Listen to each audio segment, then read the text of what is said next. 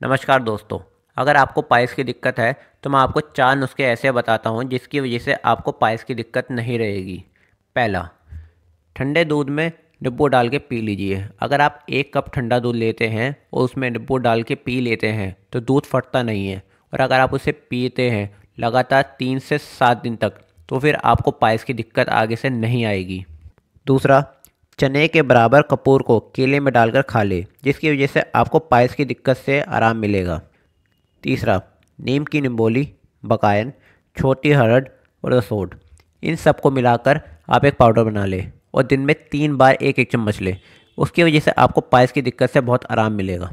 चौथा, सबसे आसान, एलोवेरा जूस। अगर आप सुबह खाली पेट थोड़ा सा एलोवेरा जूस पी लेते हैं, उसकी वजह से आपका पेट भी साफ़ रहेगा और आपको पाइस जैसी दिक्कतों से भी बहुत आराम मिलेगा। अगर आपको ये वीडियो इन्फॉर्मेटिव लगी तो प्लीज़ सब्सक्राइब करें इस चैनल को।